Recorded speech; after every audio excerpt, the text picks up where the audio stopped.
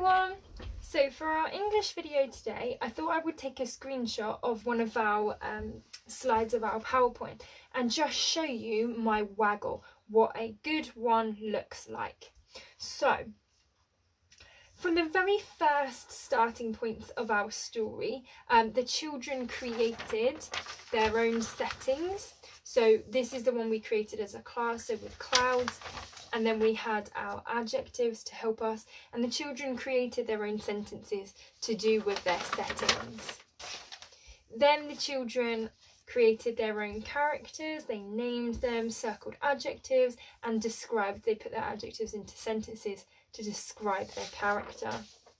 After that, the children created their own piece of rubbish with their keywords. Again, they put these keywords into sentences, and this is something that you'll have with you because we've done this since we've left the classroom. And then finally, we get to here where we created a picture of our story to help us to see um, what we're going to write and how we're going to put our things into sentences. So there's been a lot of build up that's happened to get us to this point and this is the part in our story where we're going to tie everything together. Now before you started out English I asked you to read up to page 1415 of our class story The Messy Magpie because we are retelling a section of that story so Messy Magpie is going to come into our story now and take our piece of rubbish back to his nest because that is the finish point of our story. So let's have a look then. So I've started mine with a story starter. I will pop that up on the PowerPoint for you uh, as a template for lots of different different story starters. So the first thing that we need to write about is Morris Magpie's entrance. So I've put a moment later, comma, a moment later, Morris Magpie arrived with an exclamation mark because I want my reader to think, Morris Magpie's arrived. Amazing. The next thing I want to do is I want to describe how Morris Magpie flies. I want to make sure my reader really understands that Morris Magpie has come into my story and how he is flying around whatever my setting might be. So obviously your reader is not going to have your picture to help them see your story. They're going to rely just on your writing. So your writing needs to be so super fantastic, which I know it will be. Um, so it needs to have some wonderful adjectives in it. So I've actually pinched this one. I've borrowed this one from the Morris Magpie story, from the Messy Magpie story, um, because they use um, the adjective swooped when they describe how Morris Magpie picks up the car from the can from the car. So I've pinched that one a little bit. I've borrowed that one. So it says, he swooped through the air and gently took the crisp packet from Bob Blob's hand. So here where I've got describe how Morris Magpie takes the rubbish, I know from my last piece of writing, so if I reread my last piece of writing, that Bob Lob, that the piece of rubbish is in Bob Lob's hand.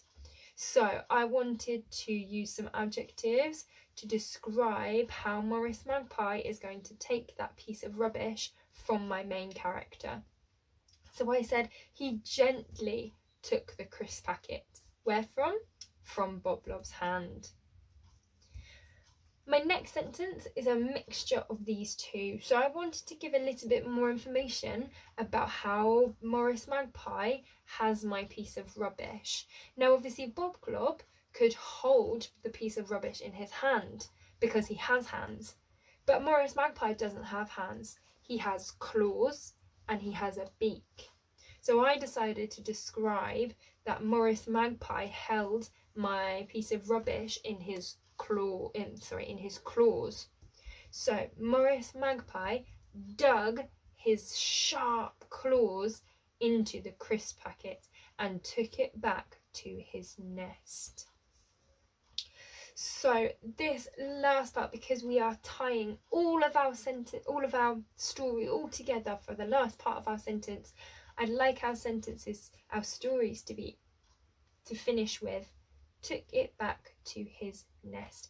And I've cut it off there because obviously your um, sentence may start with Morris Magpie took it back to his nest and you might not have this part here.